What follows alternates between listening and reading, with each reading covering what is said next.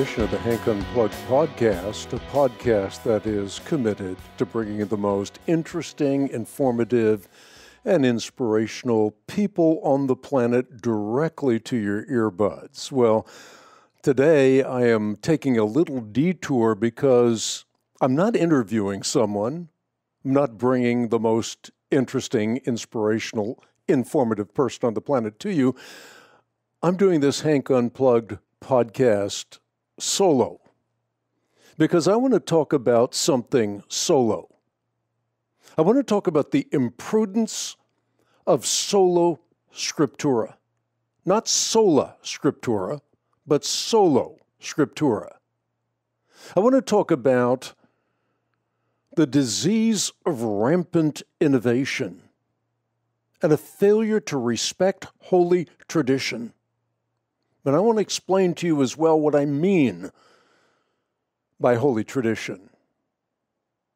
But let me start by saying this Blaise Pascal, who lived a very short life but made a transcendent difference, once said in the 17th century something that I think relates dynamically to our state in the 21st century.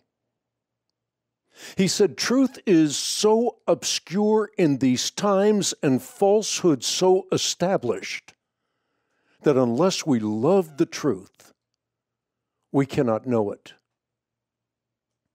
The trampling of truth in the secular sphere has, well, been nothing short of mind numbing the unalterable verity that God created humanity male and female was now routinely regaled as transphobic.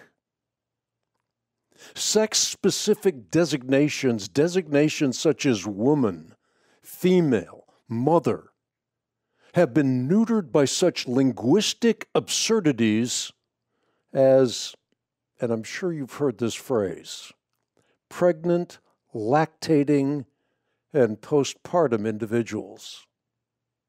Even our newest female addition to the Supreme Court seems at a loss to define the word woman.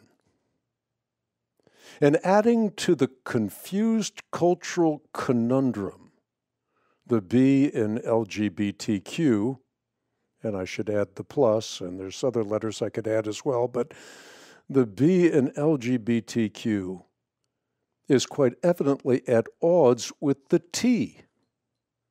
Bisexual, or B, implies two options, while on the other hand, transgender, the T, entails a dizzying array of gender identities devoid of common sense and devoid of biological reality. And even that but scratches the sated surface of, well, Western woke wisdom and adding insult to injury. Multitudes of young people have been effectively reduced to generational lab rats, lab rats subject to an unholy triad of puberty blockers, cross sex hormones, and irreversible surgical savageries.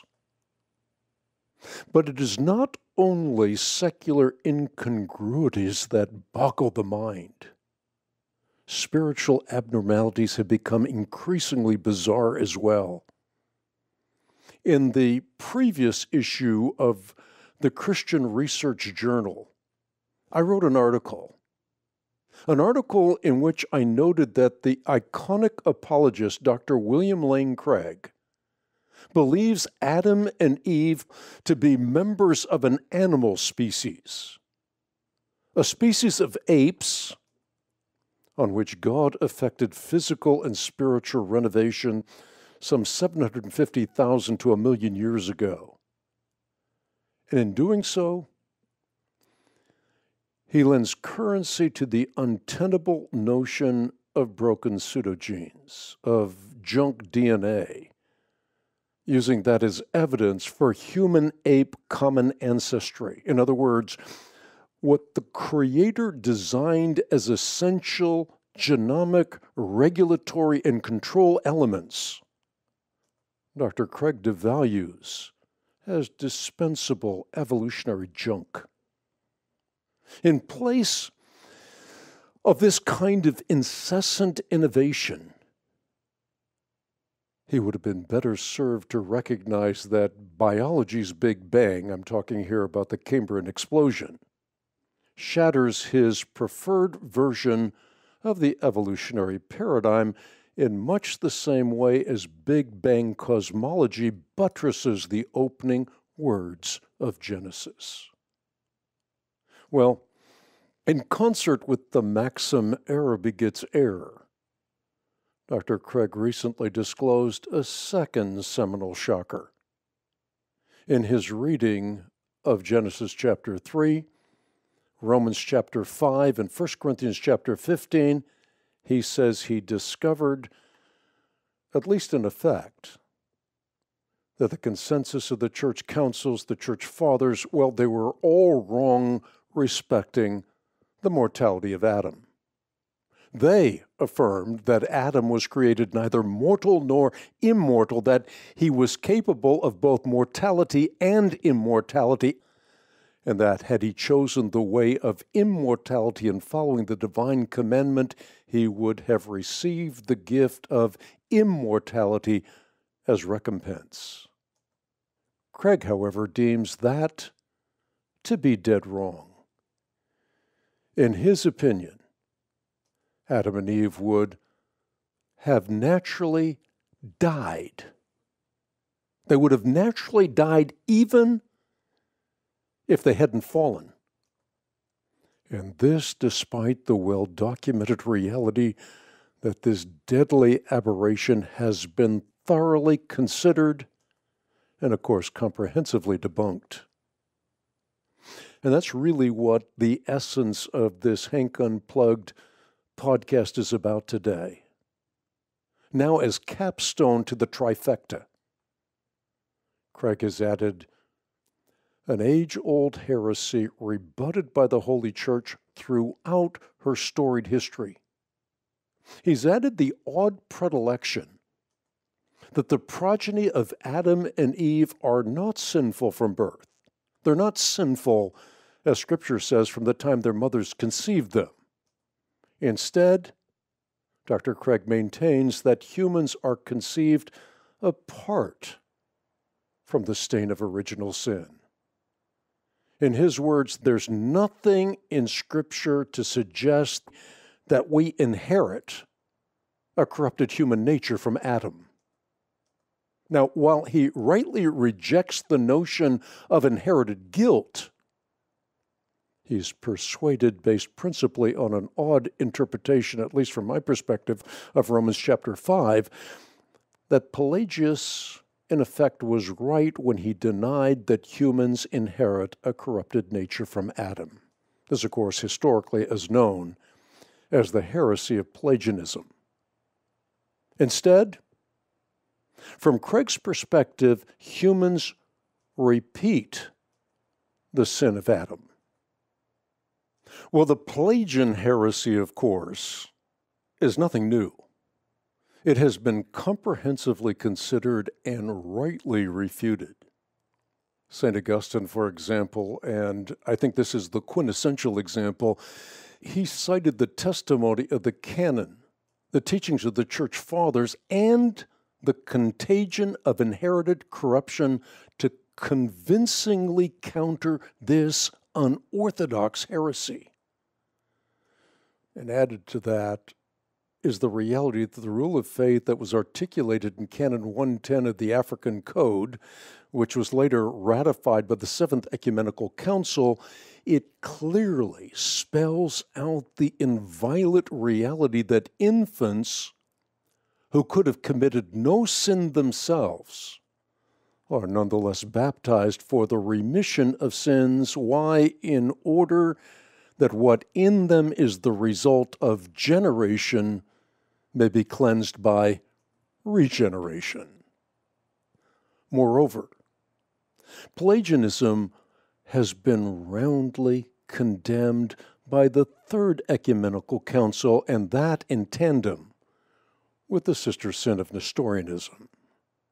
So, I suppose here's the quintessential question Why make such a big deal about an ancient heresy that has resurfaced in the present? Well, it is because the culture is progressively redefining what it means to be human. Moreover, when the biblical boundaries of humanity are blurred, the inconceivable becomes common fare.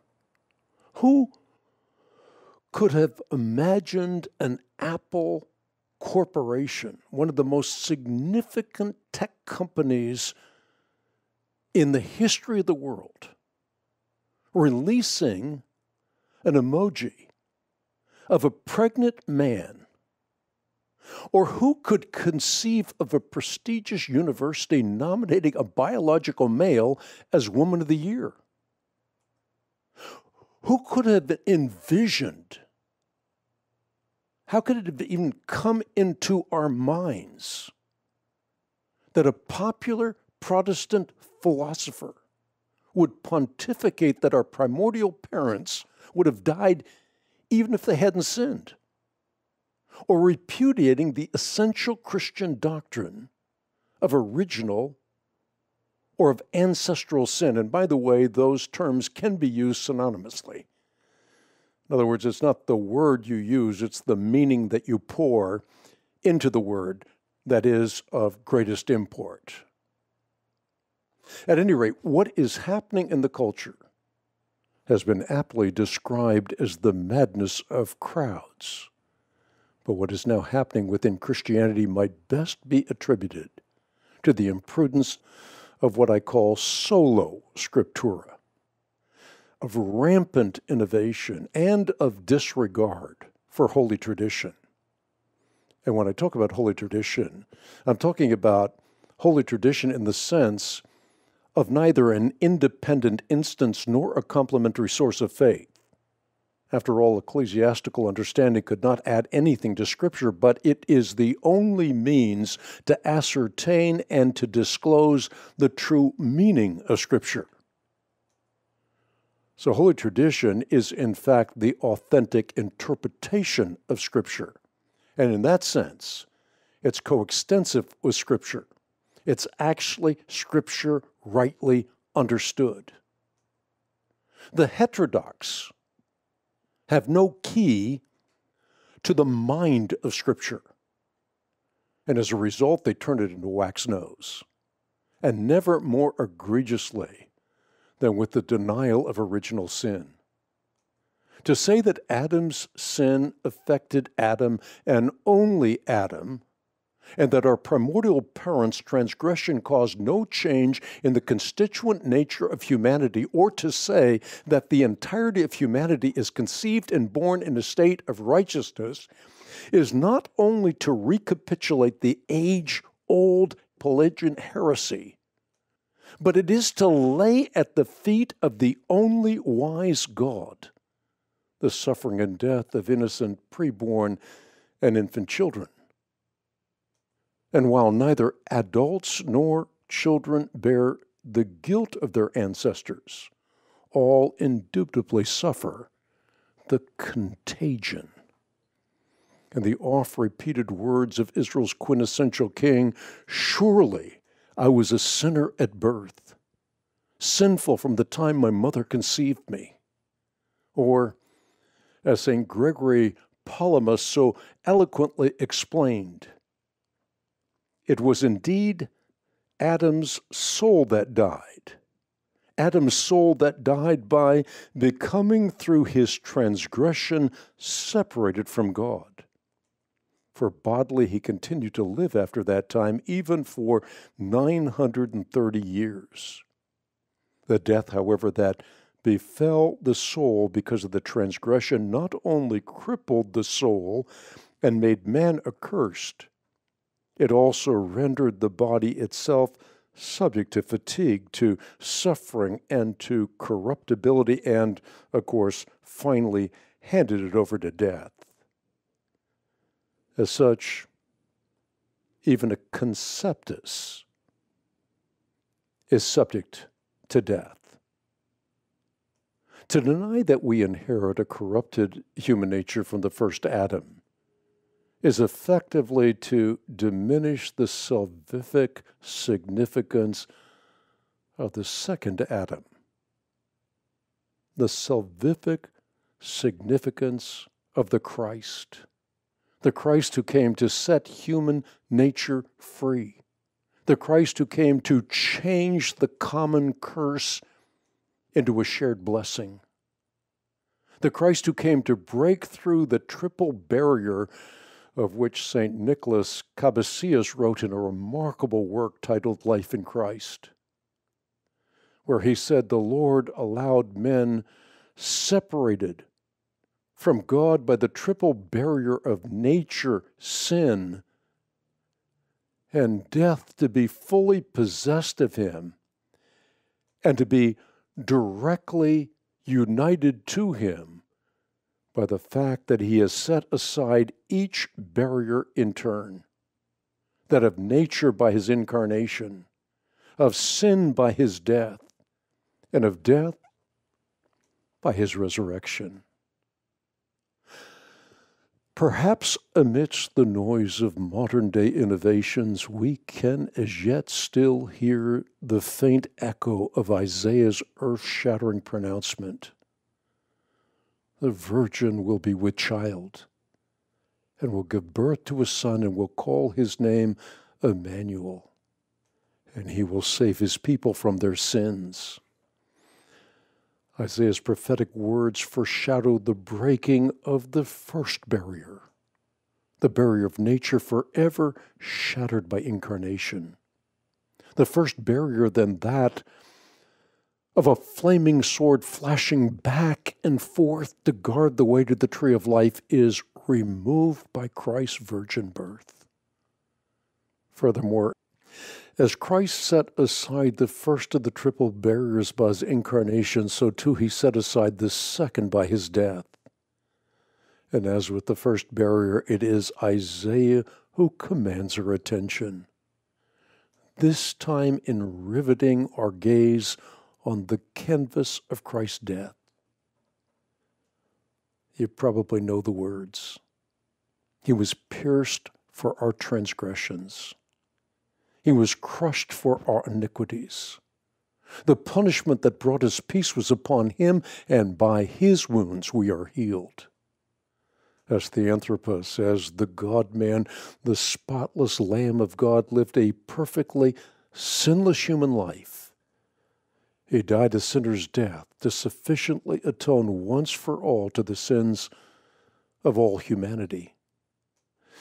Without both natures, Christ's payment would have been insufficient, as God, his sacrifice, was sufficient to provide redemption for the sins of humankind. As man, he did what the first Adam failed to do. For as in Adam all die, think the doctrine of original sin, so in Christ all will be made alive and thus through his death, the second barrier, the barrier of sin, is forever set aside. Finally, the sting of death itself, the third and the final barrier. That barrier was forever voided through resurrection. Through the resurrection, the sting of death has been swallowed up in victory. Here, as with the first two barriers, Isaiah prophetically looks forward toward the resurrection of a man as sorrows and familiar with suffering as the earnest of our resurrection on the last day. After the suffering of the soul exuded Isaiah, he will see the light of life and be satisfied. In like fashion, our bodies will be resurrected from the dust of the ground. The mortal will be clothed with immortality. If Christ had not himself been resurrected, the promise that he will resurrect dry bones in scattered graves around the globe would be as empty as the tomb that guarantees its fulfillment. Vladimir Lossky, who's become one of my favorite theologians. He's one of the most brilliant of the 20th century. He summed up our salvation with typical eloquence and erudition. He said, What man ought to have attained by raising himself up to God, God achieved by descending to man. That is why the triple barrier which separates us from God death, sin, nature, impassable for men is broken through by God, and that in inverse order, beginning with the union of the separated natures and ending with victory over death. So here's the point. Here's the takeaway in this podcast.